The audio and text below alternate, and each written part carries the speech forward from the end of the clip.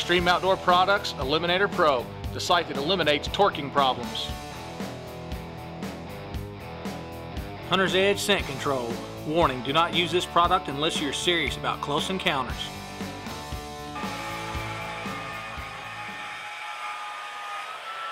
oh, sorry, I didn't know you were here.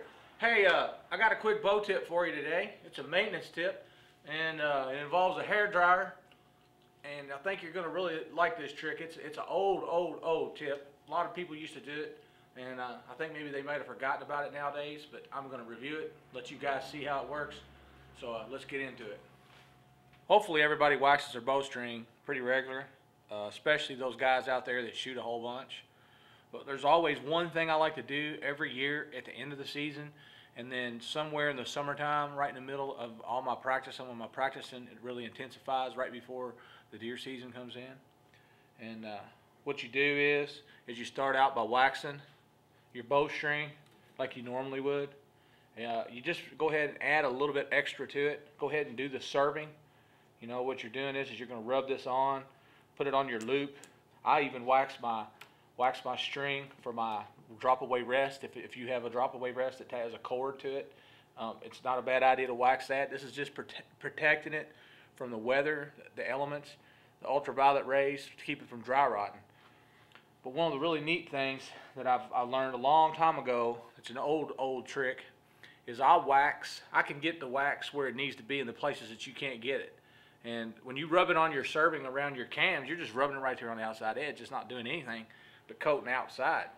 And uh, it's not doing any good for the string. And most of the breaks that I see come through this shop happen at the top wheel, happen at the cam, or happen somewhere in the middle where there's pressure from the cams and the wheels and the bends of the string. You know, it really bends.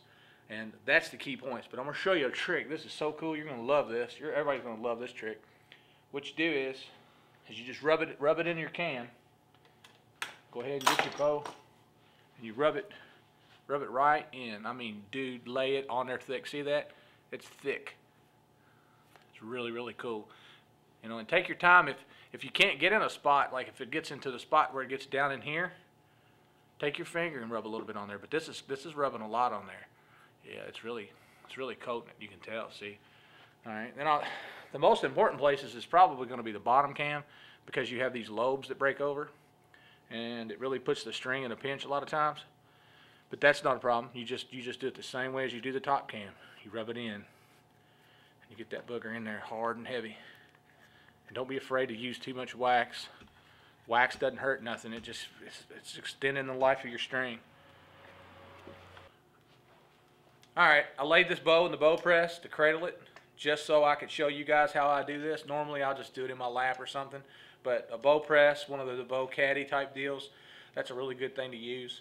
Um, what you do with the blow dryer is, is you turn this blow dryer on and you want it to be on the low setting, but you want it to be warm. You don't want it cold air because it's not going to work if you do cool air.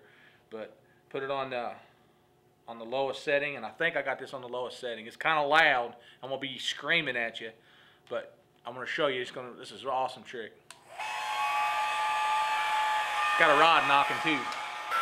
What you do is you slowly start heating up your string where you put the wax on. It takes a second for it to start working.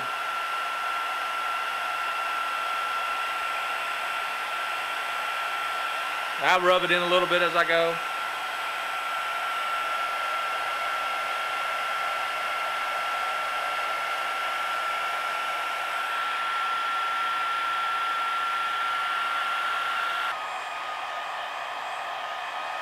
As you heat the bowstring up, you're going to see that it starts to get shiny and wet looking. That's the wax melting. A lot of the wax is going to penetrate down into the inside fibers of the string. It gets real sticky.